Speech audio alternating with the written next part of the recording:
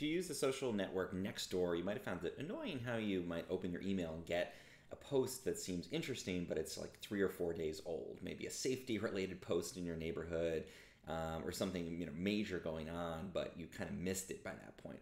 So one thing you can do to change that up is to switch the newsfeed preferences on Nextdoor. So we're going to go to this URL here. It's nextdoor.com slash settings slash newsfeed underscore preferences. You can also get it by just going to your account section and then clicking on newsfeed preferences.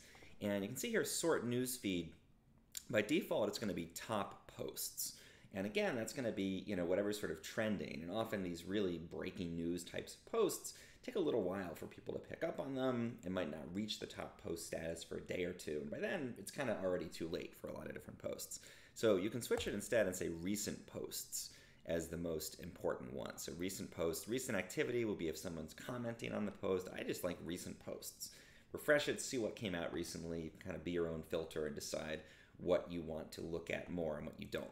You can also customize um, some of the information on the feed here. Like if you don't want to get business related posts and that kind of thing, you can uh, get rid of these. If you want to only get the sort of breaking stuff, you can turn everything off except for um, happening now. But really, just changing it to recent as the main sorting criteria, I find makes a huge difference in what you're going to see. So switch it up, uh, make it recent posts, and see if that allows you to get those breaking posts more quickly.